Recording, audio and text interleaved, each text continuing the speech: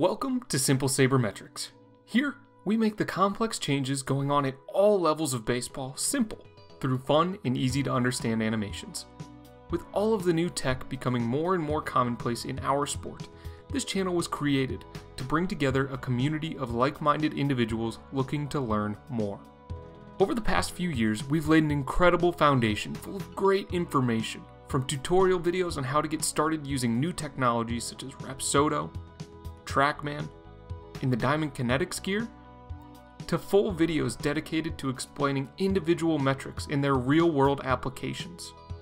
We've also broken down some of the new sabermetric stats that are being used at the highest levels of our sport. Heading into our third year on the channel, we're taking things a step further. I'm talking applying the things that we've covered in the past to what the best of the best are doing, and turning our focus towards more real life examples, and a ton more. If you're new here, it'd mean a lot for you to hit that subscribe button. It really helps promote this channel to more people looking for this kind of content. And if you've been around for a while, would love to see what videos have been your favorite down in the comments below.